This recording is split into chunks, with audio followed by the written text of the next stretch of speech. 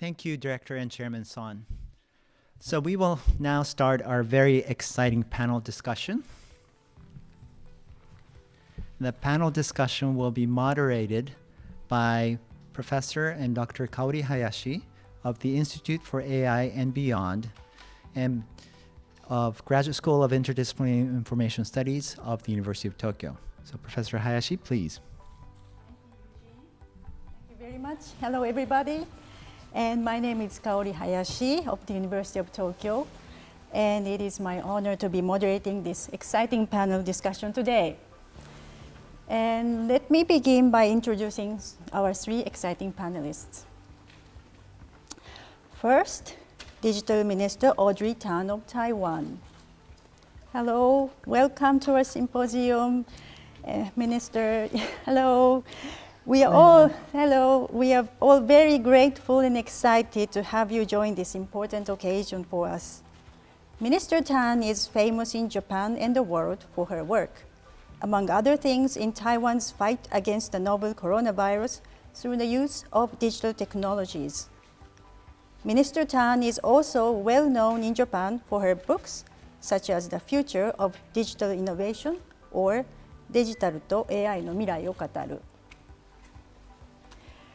Our next speaker, we also have Sputniko, who is associate professor in the Department of Design at Tokyo University of the Arts.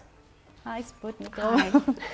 and Sputniko is an artist, designer who is known for, for her film and multimedia installation works that explore the social and ethical implications of emerging technologies. Her works have been featured in such venues as the Milan International Design Triennial and Mori Art Museum. And last but not least is Dr. Yoshiho Ikeuchi, Associate Professor at the Institute of Industrial Science of the University of Tokyo and a member of the Institute of AI and Beyond. Dr. Ikeuchi heads Biomolecular and Cellular Engineering Lab, which studies mechanisms for neuronal development and related brain disorders using unique in vitro systems. So before starting the panel discussion, I would like to ask each panelist to give a brief initial statement about their interests in and concerns for AI. So first, Minister Tang, please give us your statement. Very happy to be here, and I will start by reciting my job description as Taiwan's digital minister. It goes like this. When we see the Internet of Things, let's make it a Internet of beings. When we see virtual reality, let's make it a shared reality. When we see machine learning, let's make it collaborative learning. When we see user experience, let's make it about human experience. And whenever we hear that a singularity is near, let us always remember the plurality is here. The plurality enables us to work on everyone's problems with everyone's help. And that's the idea of collective intelligence. During the pandemic, there was in Taiwan, and still are in Taiwan, many availability maps for the mask, the PPEs, first sold in pharmacies and then at convenience stores. But it's not an idea by the government. It's not even an idea by the business sector. It's by civic technologists. In the G0V or Gov0 community, there were more than 100 different maps all over Taiwan, catering to for example, the elderly people who are more willing to use chatbots, the more uh, young people who are okay with automated navigation to the pharmacy that still have those masks available. Even to people who are not uh, very um, old and uh, like very, very young and in a language that they can understand. For example, um, through this very cute Shiba Inu spokes dog that calls all the young people to spread the idea that if you wear a mask, you protect yourself from your own unwashed hand. And the result of trusting the citizens with real-time open data enabled each and every one of us to think of better ways to distribute the PPEs, to use it better, and also disseminate this knowledge. That's collective intelligence. And when the collective intelligence shows tensions in the society, when people have different positions, that's where AI can help. In Taiwan, we have already institutionalized the use of a system called Polis, which is AI-powered conversation. What you're looking at is a real conversation in 2015 when people talked about the Uber X phenomenon of people driving without professional driver's license, strangers, and charging them for it. But instead of fighting among the polarized ideas on the more antisocial corners of social media, AI in particular, this social sector operated AI called Polis showed everyone how much of a resonance can people bring from our initial positions. So where there are, of course, a lot of ideological differences, the AI, through the use of clustering algorithms, showed people actually we have much more common in uh, ourselves with our neighbors on important issues like insurance, registration, and so on on the uh, Uber X phenomena. And we very quickly put that into a new law. And Uber worked with multi-purpose taxis in 2017. And this shows us if we deploy AI in a way that assists our collective understanding, then it's like my eyeglass. It helps me see but it doesn't compete with me in seeing. It is accountable in the sense that it, if it's broken, I can fix it myself, or anyone can fix it. And once it's aligned and accountable this way, then it adapts itself to the societal needs, empowering everyone in a society without resorting to what I call authoritarian intelligence, which is a central planning that uh, deprives the society of the democratic control. So that is what I mean by assistive collective intelligence. And I look forward to have the panel discussion with the two panelists. Thank you. Thank you, Minister Tang. That was a very wonderful and inspiring statement. Next, uh, I would like to ask Sputniko mm -hmm. to give your remark. Okay, thank you. Um, I'm going to go through my slides. Oh, hi everyone, I'm very happy to be here. and um, I'd like to first introduce uh, who I am and what I do. Um, can the slides go on, please? Can you go next, please? So um, I'm an artist, but actually I have a computer science and mathematics background. Could you go up next, please? So I studied uh, maths and computer science at the Imperial College London. And after graduating, could you go next, please? I studied design in the Royal College of Art in London. And after studying design, I, could you go next, please? um, I became an assistant professor at the MIT Media Lab. So I taught at the MIT for four years, and I had my own research group called Design Fiction Group. Could you go next? please. And then um, after that, 2017, I came back to Japan after a few years and I became a project associate professor at the University of Tokyo Institute of Industrial Science. Could you go next, please? And uh, currently, I am an associate professor at the Tokyo University of Arts in the Department of Design. Could you go next, please? And other than uh, teaching and also showing, creating and making works, I'm also giving talks and lectures. For example, I'm, I became a TED Fellow from 2019. I'm also a young global leader at the World Economic Forum from 2017 where I gave a talk in Davos. Thank you. And um, my main research theme is called um, speculative design. And that's um, this idea of design, which was first coined by Professor Anthony Dunne and Fiona Raby in RCA in London. And this is a, a design that asks questions about the future. So this is a design to stimulate discussions about the social cultural and ethical implications of technologies. Could you go next, please? So uh, one project I did in this spe speculative design theme is that this is a project called Menstruation Machine. So I designed a machine that allows people to experience the whole process of menstruation.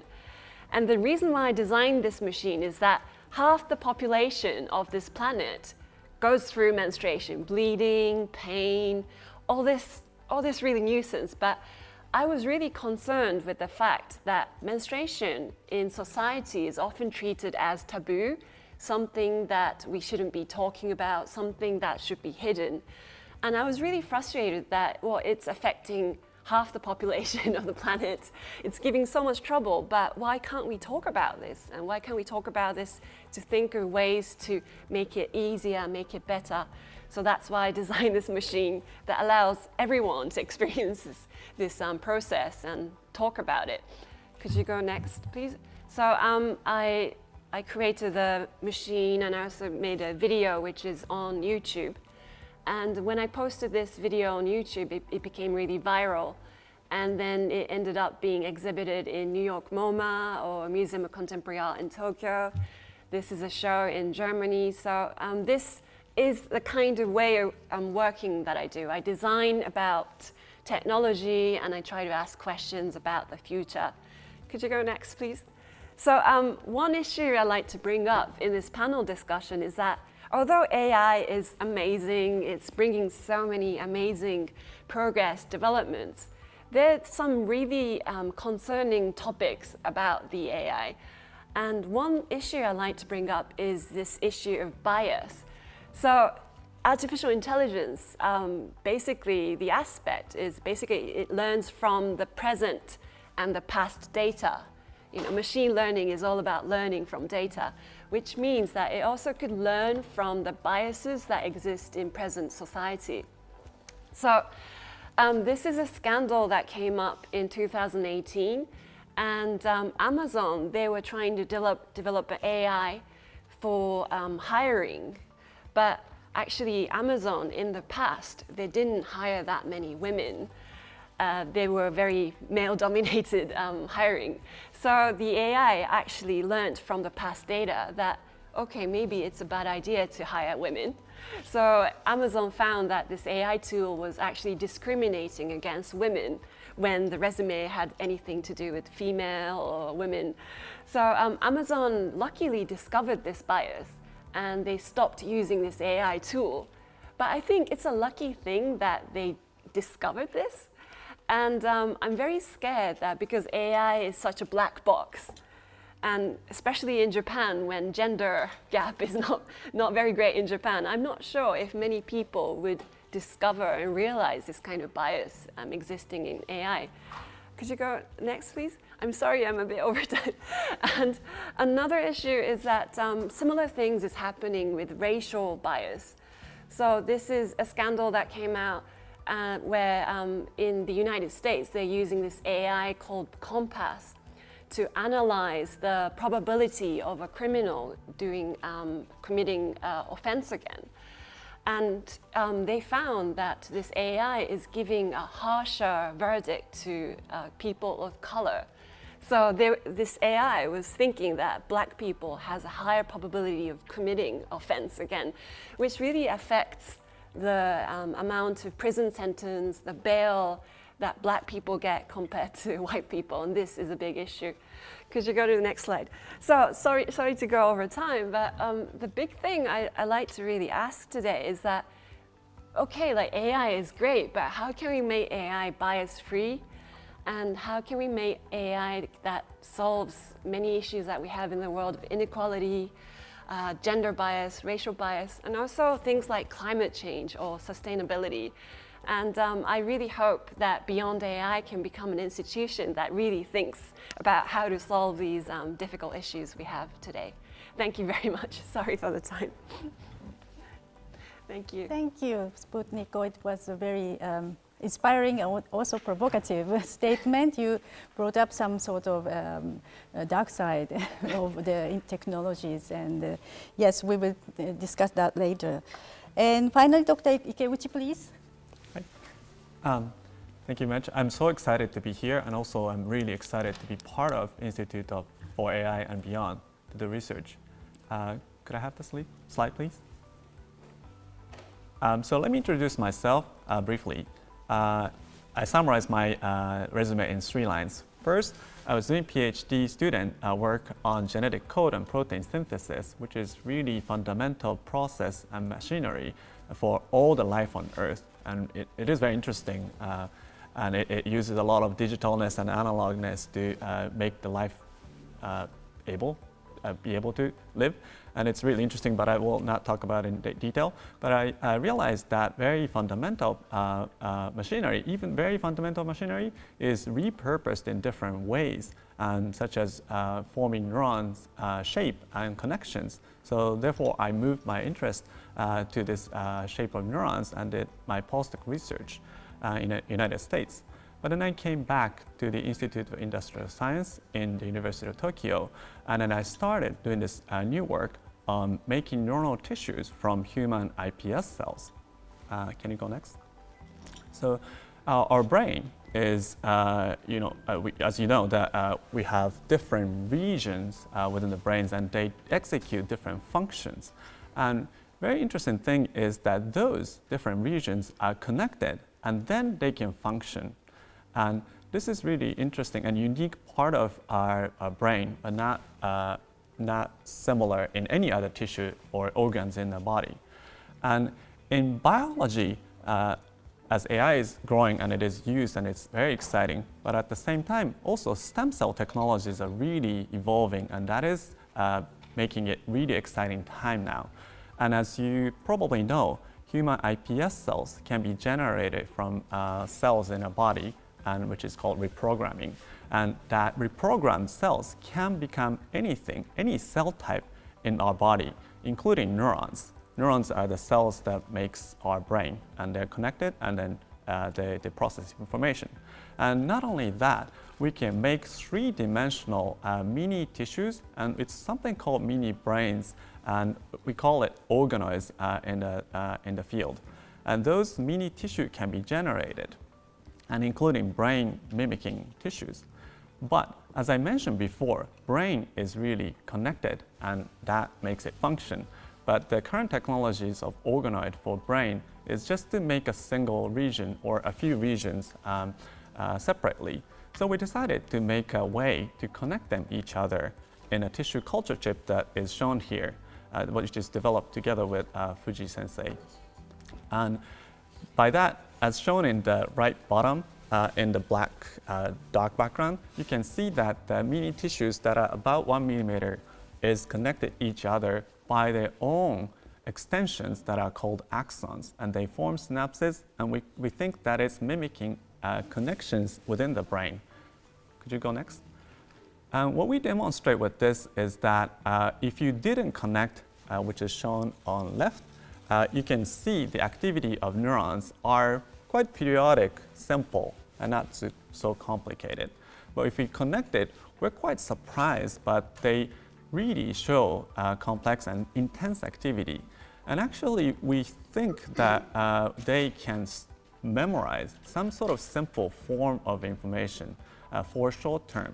So we would like to make it long-term memory, and we would like to know why they can uh, really memorize uh, some sort of simple informations.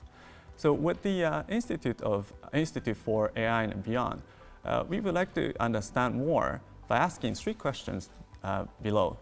Can we know more about circuits in the brain from this uh, in vitro system? Um, we also want to ask a question, can we make them function with the help of AI? And also, it, this is very exciting to be in the group of other people who studies AI So we would like to ask the last question of can we or can the research inspire AI development? And we're doing this very, uh, with very talented uh, research associate Tatsuya Osaki, and uh, we would like to recruit more people. Uh, I would like to introduce the last uh, slide of, uh, can you go next? with the little bit of interaction with society. So as Sputniko mentioned that RCA does a lot of speculative design and it's really well known for it. And the institute I'm in, IIS and RCA set up a new uh, a lab that's called Design Lab, who, who facilitate, which facilitates the interaction between scientists and uh, designer and students all together at the campus. And so they, they uh, form uh, small projects and then um, they try to come up with the uh, uh, usage of our technologies uh, into develop, deployable products. And here I'm showing three different uh, examples, which I'm not going to be able to go into details, but through the interaction with the non-scientist people or intermediate people, we can know what people really want from a technology or what is lacking at the current technology or society. And through the interaction, we're so inspired and we can apply those ideas into the research and we can accelerate uh, uh, the research and we hope that will be helpful for the society.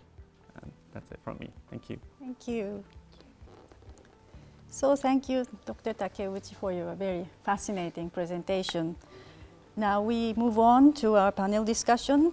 And may I ask Minister Tang first to kick off our discussion by offering your responses to the statements? Certainly. Um, first of all, I think about the bias issue all the time. Uh, for being a non-binary transgender, I'm always being biased against. Um, very seldomly biased for. Uh, anyway, uh, and so uh, this uh, I feel very clearly. And uh, I think about the mask availability map, about how it looks fair when I first see the map on my phone. It looks like the pharmacy distribution is almost perfectly lined up with the population centers. So I feel very good about it. But just a week after, a member of the parliament, um, VP of data analytics at Foxconn before she went into the parliament, MP Gao Hong'an, uh, interpolated our minister Chen Shizhong saying, you didn't take into account the public transportation times that the rural people need to take to reach its near pharmacy. So even though it looks like the same distance on the map, it's not the same time uh, in terms of the cost or opportunity cost for the rural people. So it's actually biased against them. And because we share the open API updated every 30 seconds, Minister Chen Shizhong, our uh, Minister of Health, were able to simply say, legislator, teach us. And I think this quote is very important because it shows that in an evidence-based culture, any bias, as soon as it's discovered, have nowhere to hide. The bias may already be, as Sputniko put it, in the mind of the planners. Uh, but the AI and its visualizations, if democratically controlled, allow the society to have this sort of feedback and it's always constructive in the sense that every MP or every civic technologist can offer a better way to organize the distribution. And we did fix that um, just 24 hours afterward. So such a feedback system, I think, is paramount if we are to use AI as assistive intelligence. Thank you. So uh, I think uh, the word democrat, if democratically controlled, is something that we can uh, dig into uh, deeper. So, uh, Sputniko, would you have right. some say to it? Yeah, like I, I agree with uh, Minister Tang about the feedback system, but sometimes I, I often worry that um, like the commercial incentive can be extremely strong, especially technology. So to develop, to the desire to develop something very efficient, something very fast is very strong. And I think we really need to have a strong force. How can we build a feedback system that can be checking on this? You know, because um, we like to, you know, may, maybe it's a good way to think about a tool where, you know, normal people could suggest biases or evidences that where AI is working against them. But oftentimes you need to be pretty educated to be able to spot these um, mm. evidences. So I sometimes think like, uh, like maybe a research institution needs to really fund that effort to check on this um, really fast development of AI and capitalism. I, I don't know, I, I wonder what's your thought on that? How, how do we check and how do we create a sustainable feedback loop of tech and capitalism and checking um, right. where it's going? Yeah, uh, I think our current forms of democracy, uh, which was designed for an analog system uh, and at most radio and television system, uh, really um, prioritizes this dissemination, uh, but not so much the feedback the bit rate of democracy, if it's constrained only to voting, is just maybe four bits every person every four years. And that's very, very small amount of bit rate mm-hmm. in terms of democratic control. So my work on collective intelligence is almost always to increase the bit rate so that anyone who see anything wrong with uh, the AI that's deployed in the society can just go to our national participation platform, join the GOV, the TW, which has more than 10 million people using it, so half of the country mostly, and we have more than one quarter of petitions by the people who are not even 18 years old.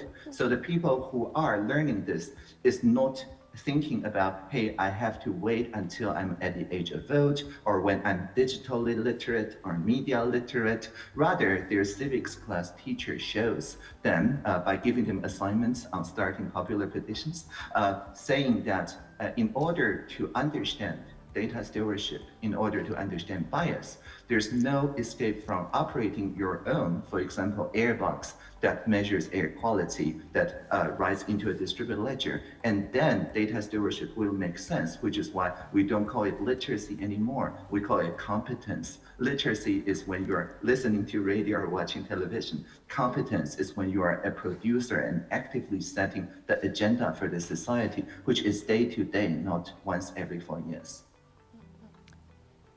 Yes, thank you very much. So uh, my question would be that how would you uh, nurture this kind of competence uh, or um, how, what, would, what is your uh, thought? Would you give us some thoughts about what the ideal education for the kids to be able to empower them to be able to participate in, the, in such a system, democratic system? Yeah, first of all, we heavily prioritize free software in the sense of freedom uh, in our basic education system. This is not just to avoid vendor lock-in, but it's also to make sure that they are empowered instead of feeling a sense of helplessness when the machine's algorithms turn against them. Indeed, if something is free software, it means that every student is free to fork meaning taking it to another direction without uh, violating copyright right, or other so-called intellectual property laws. And this is, I think, number one. It's very important to have the agency over the software and think in terms of code, not in terms of the algorithm. Algorithm uh, is like the, the central planner's way of thinking about society and code is something that everyone can change. And that's the first thing. And the second thing, I think also equally important, is to make sure that when the society detects uh, such a uh, bias, the discussion takes place in a public infrastructure. In, for example, uh, real world, we have a conversation like in this panel in an academic setting uh, or in a public park, in a public library, in a town hall. These are all public infrastructures in the commons. But in the uh, online world, if we do not have the sort of participation infrastructure like the Join platform, Polis, PTT, which are open source and social sector um, operated, then we're confined to the economic sector, capitalism, surveillance capitalism operated corners, more like uh, nightclubs and pubs and drinking places, um, which do not actually foster public deliberation. They may have private bouncers and sell you addictive drinks, and it has its place, but that place is not public deliberation about the results or uh, the loss of agency to central planning AI algorithm. So have a public infrastructure intentionally invested by the social sector and the public sector is also equally important. Hmm. Very interesting. The strengthening of the free software availability and the public infrastructure are the, were the suggestions. Are you persuaded, Sputniko? Actually, like I, I, have a question about um, the Polis tool that um, you just mentioned, because um, communication is a, another big issue I'm interested in, because you know communication is often, like these days, like fake news or extremism is much easier to spread online. And you just showed um, just now in the presentation, you try to design a tool that where AI is used to try to find um, similarities between people with opposing opinions. Is that what you said? I, would yes. love to know more about this because. Sure. Right, the design is very simple. Uh, you see your friends and families, not uh, nameless trolls, uh, on the system. Uh, it's by k-means clustering, so people who feel similar are grouped together. And uh, main contention points uh, discovered via principal component analysis uh, are uh, projected into two dimensions that are dynamically updated. So the way uh, we input into the system is by looking at one statement, uh, 140 characters, so tweet length. And for example, this was my contribution in 2015. I said, I think passenger liability insurance is very important. It's my personal feeling. There's no right or wrong, but you may agree or disagree. If you do agree, you move toward me. If you disagree, you move farther away from me. It's like a open space technology, but there is no reply button. When there is no reply button, there is no room for troll to grow. Mm-hmm. It doesn't incentivize trolling. And before long, people discover that uh, we actually agree with most of our neighbors most of the time on most of the issues, simply because we simply agree to disagree on those ideological differences because they do not sell addiction. This is a free software platform that prioritizes a more nuanced understanding uh, common feelings. And by uh, focusing on feelings, not interpretations, it makes us more pro-social. Mm-hmm. Hmm. How, how do you feel about the design of the current major communication platforms like Twitter, Facebook, and what happened recently with the United States Capitol riot, where it seemed like there were many conspiracy theorists like QAnon spreading online, and it was creating a lot of havoc online. How do you feel about the current design, and uh, what are the improvements that could be done? In Taiwan, uh, we have this idea called humor over rumor. Uh, and indeed, the cute Shiba Inu is part of the campaign to make sure that whenever there is a trending misinformation, people just report it, much like we flag spam from our inbox. And uh, the situation of the current generation of more anti-social corners of social media is like a inbox that's almost all spam and mm. just uh, a little bit of it, uh, meaningful communication. And that's, of course, not tenable. But I remember that because I'm, I guess, old enough to remember uh, Bill Gates also used to say uh, email will be broken very quickly if we do not uh, have the postal stamp and charging them uh, for it. but it's not solved like that, not through commercial incentives, but rather through people volunteering to flag things as spam and for international networks like Spamhaus uh, to signal a untrustworthy spammer so that its email moves to the junk folder rather than to the inbox. And so similarly in Taiwan, we have a immune system from the social sector where people just crowd checks, like through the Cofacts initiative, uh, crowd checks anything that is trending or about to trend and make sure that if it has a high R value, then the response to that, which is even more fun, has an even higher R value. So it inoculates people who laughed about it. And I think this is one of the ways to solve it. I'm not saying it's perfect, but it beats censorship in my mm -hmm. opinion. Hmm.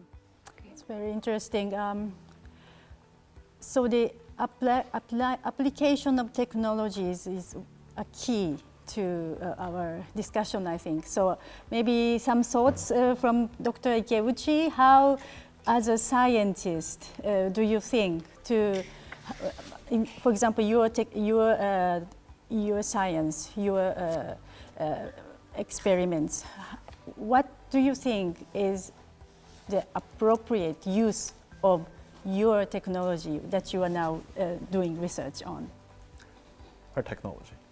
Okay, so I have to be honest about our technology is really far away from actually deployable product. So as I mentioned last part of the uh, um, slide, uh, I, uh, I showed that we try to interact with the uh, design people uh, to understand what is the need from the society, what is the problem. And we would try to, of course, come up with a scientific solution. In our case, uh, neuronal tissue or neuronal computer, or the computer mimics our brain that are made of cells, um, which is, which is developed, which we, we think is a trajectory from our current research, and uh, we would not be able to really um, sort of um, directly have the solution for that question, I'm sorry, but from the cells. But we would be able to actually uh, bring up a lot of uh, thoughts and ideas and problems through that course. For example, so if we make the brain like uh, tissue, that might be actually as biased as our brain, for example. Like that might be a problem, for example. But then we can have that type of discussion with the participants and, and we would be um, sort of trying to addressing those questions by, of course, by developing our thoughts, but also try to incorporate others. But um, so the short question in the end is our technology cannot be used directly right now, but we, we, we are quite enjoying the uh, discussion through the design lab. So you are inspiring AI technologists. Yeah, I hope that's the, that's the case. So I hope that is bi-directional. Uh, so the, of course, we're not really talking with the general, general public. We're maybe in the small clusters that are close together in the, the PCA analysis. But anyways, um, but maybe we can have that little window from the society to, to have the, the, the, the thoughts and knowledge, and uh, we would be like to addressing more. And I hope that's happening more in the, this institute as well. Yes, thank you very much. Uh, the whole, uh, this uh, symposium is about how we best use AI technologies and uh, what can we do about education and also about research and ethics and so on. But uh, we have to pause our exciting discussion now and we have, I, I have many more questions from our colleagues for Minister Tang. And uh, I would like to ask, uh, because of the time, one personal question to Minister Tang and one more conceptual one. Uh, is it okay, Minister Tang? Yes. and let me start with the personal. Um, why did you change your career at the age of 33? And what drove you to become a political activist instead of staying as a tech entrepreneur. That has something to do with also the, how scientists, what kind of role scientists play in society and what kind of role political activists uh, play in society and how these two are related together. Would you respond to this question? Sure. Um, in 2014 March, I participated in the Sunflower Movement, where we occupied the Taiwan's parliament for three weeks. And the Occupy was a demonstration, but it's not just a protest de demonstration. It's a demonstration in the sense of a demo, like a software demo. Uh, and the demonstration was a very simple hypothesis that the collective intelligence of half a million people on the street and many more online co-organized by more than 20 NGOs, each specializing, say, in the human rights, in the cybersecurity implications, labor laws, environment, and so on, about a trade deal, can actually deliberate such a trade deal even better than the parliamentarians could do in their formalized hearings. And the demonstration was a resounding success. We showed that with good open space technology and nonviolent communication, people actually understood the repercussions of such a trade deal if empowered with the kind of collective intelligence tools that shows them exactly how such a trade deal affects them. And this leads to high quality conversations and make the democracy, well, I guess more democratic. And it was endorsed by the head of the parliament at the time. And we had a national forum and we collectively decided that we didn't want the parliament to get occupied whenever there is a controversial issue. And we want instead to take such a conversation to the digital realm and anticipate such controversial um, values and so that we can settle on what we call a rough consensus through such exploratory design tools, not last minute occupies.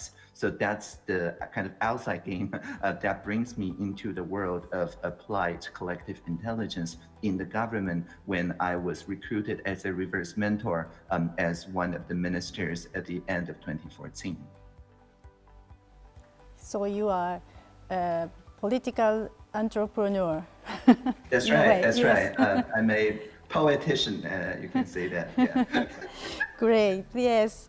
And I have a privilege to ask one more question. Uh, it is rather a conceptual question. And how can AI, and this, uh, this is a question from all of us, uh, all of the panelists here, uh, three of us, how can AI help us integrate divisive society? Or, in other words, how can AI resolve the so society's deepening rift of inequality instead of strengthening it? Um, and I would like you to uh, address this question by uh, talking to our students uh, what we can do about it. Yeah, um, I think one of the main promises of internet technology is that it's not just for downloading. It's not just for listening to mass communication programs that were already fixed uh, by the programmers, but rather everyone is invited to be not just a programmer to invent your program, but also a civic hacker in the sense that you can take such programs and adapt it to your local need, however you feel appropriate without the explicit permission or even um, imagination by the original designers. So they become more like Lego blocks. Now, it's arguable how much internet has fulfilled its original design spec, but that spirit is always there. It's called end-to-end -end permissionless innovation. So my suggestion is that to think about AI as like fire, which is also a technology. It can burn cities. it's very destructive when not used correctly. Uh, but we don't uh, restrict the use of fire to just a few elites. Instead, we teach about safety of fire and safe fire use and applied batch processing of food through fire uh, as early as maybe six years old. Uh, in the kindergarten, it's called cooking classes. And so think of it this way about how to cook for the better and also how to share your recipe with others. Thank you. It was very inspiring comment. Um, lastly, maybe we can have a comment from our panelists, Sputniko and yeah. Um, well, it's been great to talk with Minister Tang and you guys, and I, I hope I can see you in person in Taiwan or Tokyo after the COVID crisis. But I think um, another key is um, you know, equality in education is so important. You know, open education for people of all class, all gender, all race. And I just hope more, you know, more women should be studying engineering and science. Especially University of Tokyo needs to work yes. hard on that.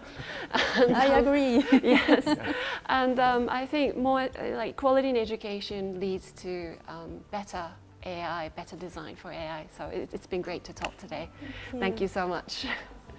Dr. Ikeuchi? Yeah, it's been really pleasure and really fun, and I learned a lot today too. And uh, it's, it's really difficult for us to interact on this uh, COVID situation, including this institute has been doing a lot online. But it is a good thing that we can connect even uh, to Taiwan. It's really nice time also. And we really want to cause more sort of technological intense fire from this institute and then uh, hopefully that can be applied to the society more in the future. Thank you. And Minister Tang, final comment from you? Final words? Um, I, I wish you all live long and prosper. okay. Well, unfortunately, we have just run out of our time, and I'm sure more can and should be said, but let's save this for the future discussions. And I would like to thank each panelist, and particularly Minister Tang, uh, for joining us from Taiwan amidst, amidst your busy schedule. Thank you very much. And it was great honor for me to moderate this session. Thank you. Thank you, everybody. Thank you so much. Thank you. Thank you. Thank, you so much. Thank you. now back to Eugene. Thank you very much. Wow, that was that was really exciting. I wish it could uh, last longer, but we'll just save it for the next time. Uh, thank you once again, Minister Tang, um, Sputniko, Prof- Professor Ikeuchi, and Professor Hayashi for the wonderful and inspiring discussion. Uh, we'll take a break now until 11:10 a.m., just about 10 minutes, and resume at 11:10 a.m. to introduce the research activities of the Institute for AI and Beyond. Thank you.